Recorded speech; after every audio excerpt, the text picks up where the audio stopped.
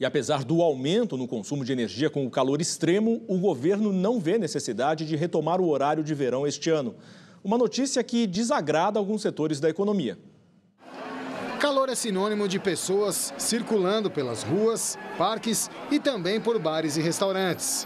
Este, na região central de São Paulo, não vê a hora da volta do horário de verão. Com o dia mais longo, segundo o gerente, o movimento cresce, o faturamento aumenta e novos funcionários são contratados. Para nós, o horário de verão é ótimo, porque com a claridade, né, as pessoas sentem mais à vontade e ficar um pouco mais no restaurante, no bar, né, e, consequentemente consome um pouco melhor, né. Infelizmente, nós ficamos né, tristes por enquanto, porque na verdade nós não, não conseguimos retomar ainda, né, uma pandemia e o horário de verão ajudaria bastante, né? O horário de verão foi extinto em 2019 durante o governo Jair Bolsonaro. Em novembro do ano passado, logo após vencer as eleições, o presidente Lula fez uma enquete informal sobre a medida no X, antigo Twitter.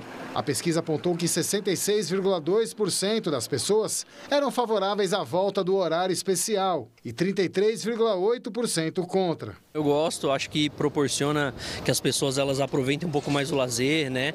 Elas conseguem sair um pouco mais cedo, entre aspas, do, do trabalho, então acho que é um, é um benefício, inclusive, né? Você poder aproveitar um pouco do seu dia, né? Eu gosto de sair, tá, parece estar tá saindo mais cedo, e aproveitar o sol, dá pra você fazer alguma coisa, sei lá, por exemplo, parar ali, admirar um pouco a vista, tomar um sorvete, alguma coisa assim.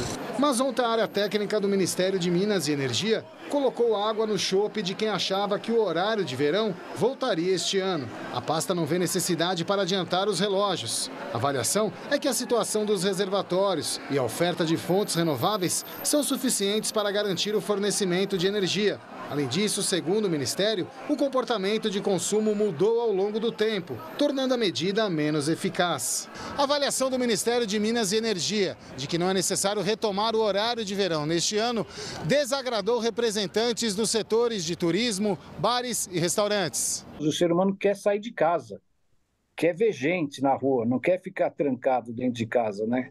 Ainda mais com esse calor todo. Então, a gente tem que presidente Lula, se Deus quiser, ele vai entender e vai ver por esse outro lado da economia do país e do Ministério de Turismo, que vai também colaborar muito para o nosso setor. Para a Associação Brasileira de Bares e Restaurantes, a medida traz impactos positivos para a economia, porque aumenta o movimento nos estabelecimentos. As pessoas tendo luz natural, elas saem muito mais, ficam muito mais tempo pelas ruas. Eu espero que as autoridades é, revejam todas as suas posições e acabem permitindo que a volta do horário de verão.